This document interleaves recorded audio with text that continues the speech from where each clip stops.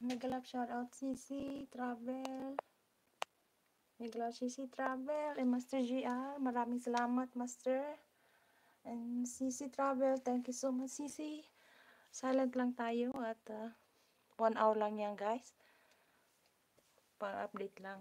Maraming salamat sa inyong pagtabay dyan guys.